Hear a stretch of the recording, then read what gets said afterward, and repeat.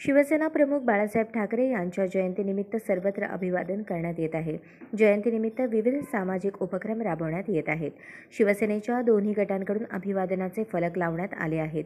मुख्यमंत्री एकनाथ शिंदे हे भाजपसोबत आहेत तर उद्धव ठाकरे यांची शिवसेना काँग्रेस राष्ट्रवादीच्या युतीमध्ये आहे. सोलापुरात शिंदे गटाचे जिल्हाप्रमुख मनीष काळजे यांनी लावलेले अभिवादनाचे पोस्टर सध्या संपूर्ण शहराचे लक्ष वेधून घेत आहे.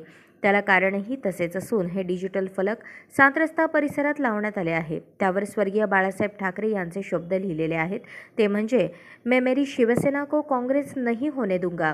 और मुझे मालूम हो रहा है तो मैं मेरी दुकान बंद कर दूंगा. या शब्दांमुळे हे डिजिटल फलक लक्ष केंद्रित करत आहे.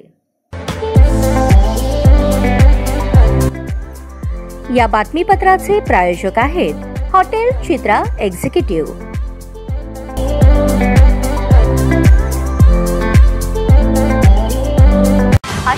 नवनवीन अपडेटसाठी जनता राज्य न्यूज चॅनलला सबस्क्राईब करा लाईक करा आणि शेअर करायला विसरू नका.